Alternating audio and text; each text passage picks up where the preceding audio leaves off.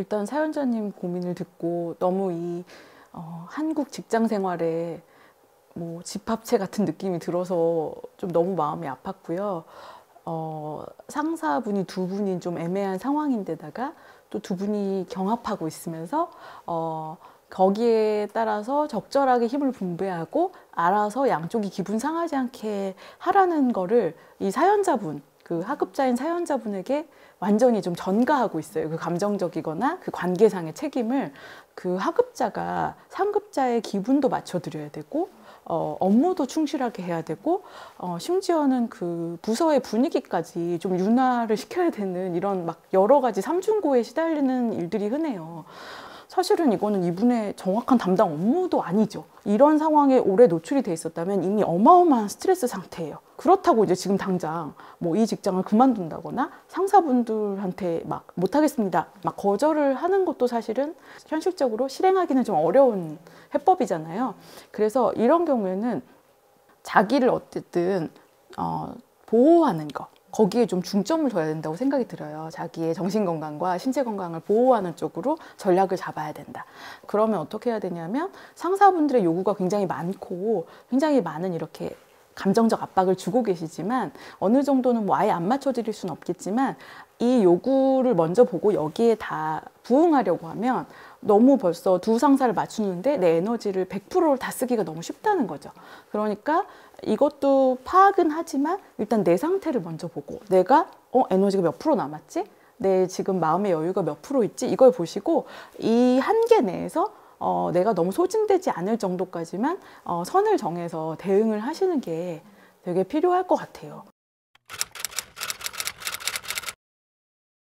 이런 거는 많은 논문에도 나와 있고요. 최근에는 MBI를 만드신 마슬라우 박사가 미국 갤럽에 직원분 7,500명을 대상으로 한 설문조사가 있었어요. 당신은 직장에서 어떨 때에 번아웃을 느끼는가? 아, 이런 게 있었는데 여기에서 여러 가지 답들이 나왔는데 이게 많은 직장에 다 통용된다고 생각이 들거든요.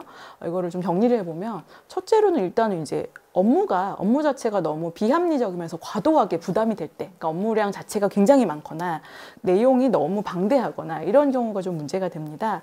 더구나 여기서 그 업무 담당자가 있잖아요.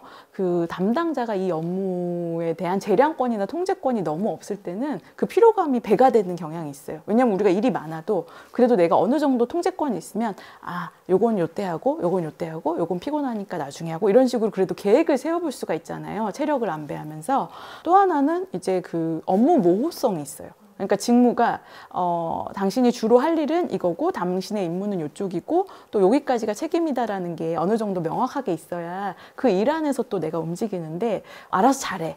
부서의 어떤 평화를 위해서 당신이 알아서 잘하세요. 이런 식의 약간 모호하게 다 맞춰라. 주어진 일은 다 해라. 이런 식의 어, 역할 모호성이 굉장히 당사자를 혼란스럽게 하고요. 좀 난감하게 만들 때가 많고 이것이 굉장히 정서적 스트레스가 됩니다. 또 중요한 것은 어, 직장 동료나 그 다음에 상사의 어, 어떤 지지 체계예요. 그러니까 상사가 그 팀원들의 일을 이해하고 얼마나 피곤한지 케어도 하고 그리고 또 업무에 대해서 좀 피드백을 주고 또 힘들 때 지지해주고 이런 것들이 있을 때 이제 힘들어도 같이 이겨나갈 수가 있는데 어, 한국에서 또 이게 좀 잘 이루어지지 않고 오히려 직장 상사들이 좀 이렇게 더 감정 노동을 전가하는 이런 구도가 되는 건 좀 문제라고 생각이 됩니다.